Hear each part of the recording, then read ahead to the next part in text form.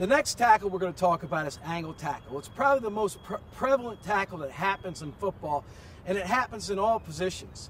The base fundamentals of the body posture, the mechanics of head, head and eyes up, face up, are the same. Accelerating feet are the same, and arm thrusts are the same. It's just the angle that the tackler is taking at the man with the football is different.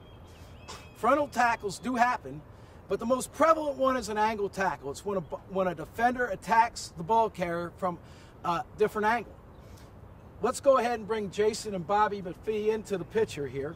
And we always start talking about tackling because of safety, and you should be able to do it without a helmet.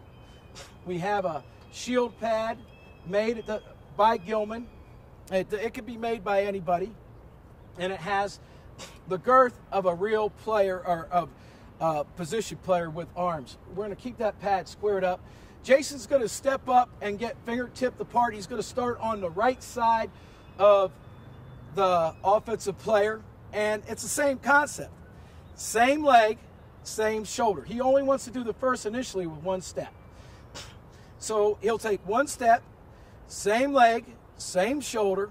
The key is the clamp on the back side. What happens on an angle tackle more than not the timing of the lick will cause, the timing of the blow will cause the defender to get in front and he won't keep his back shoulder or near shoulder for leverage.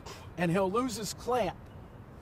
And we'll, we'll go ahead and step through here and see if we can see the clamp on command. Let's get, hey, same starting position, good football position. Weight on the inside balls of your feet, no false step.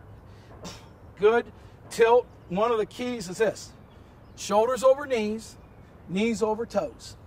That's a good way to put it. Shoulders over knees, knees over toes.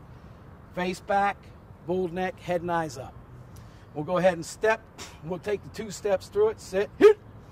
Boom, boom. There's the follow through. Very, very good. Let's